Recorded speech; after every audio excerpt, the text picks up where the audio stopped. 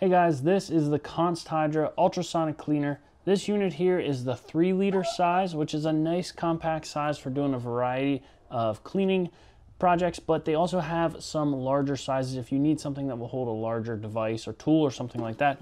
Uh, but just for reference, this is the 3 liter. And inside here, you'll have your power cord, and they have a nice little lift out tray put your parts in because the water in here can get actually get pretty dirty uh, from all the dirt that comes off. So it's nice you have this little tray to pick out your parts. So I want to turn this thing on though and show you how this works. I will say uh, you might want to do a little research online depending what you're cleaning, uh, what temperature and how long to clean it for. Uh, this is in general though a very safe way to clean different types of objects because it just uses vibration.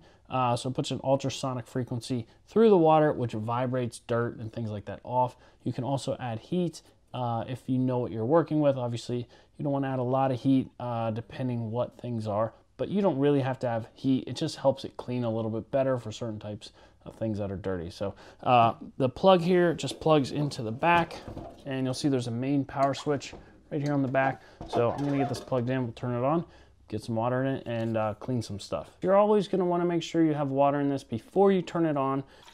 So just add some uh, filtered water in right here. And I have a couple coins here for demonstration that are very dirty and corroded. I'll show you here. So there's a dirty nickel.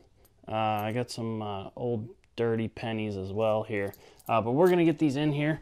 And also have a ring that we're going to put in here. So I'll set these in, and then we're going to put our lid on.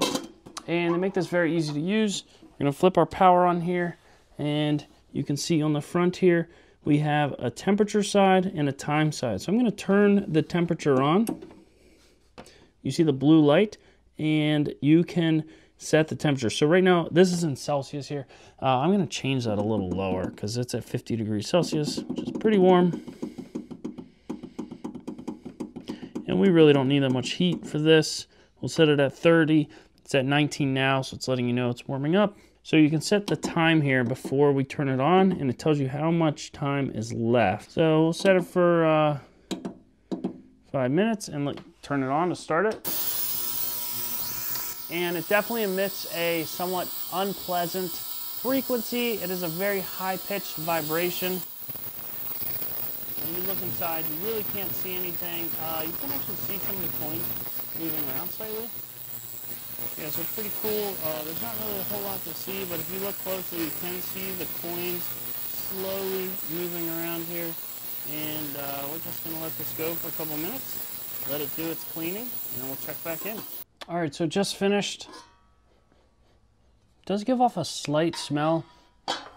Kind of reminds you of an old people home. Let's uh, take a look at these here. All right, so I think they might need a little more time in here. The water's warm, uh, but it's definitely starting to clean these. Take a look at these, this nickel, which was really dirty, it's starting to get shinier.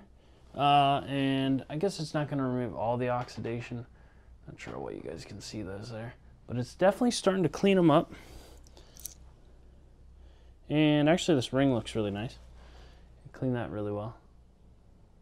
See that? So it's definitely working. Uh, I definitely need more time on these coins though, because uh, that's like oxidation there. And that probably takes some time to really get that off well. But definitely works. Very easy to use. So just a couple buttons here on the front. Now if I want to put more time on, I'll just click this up and then hit the power button again.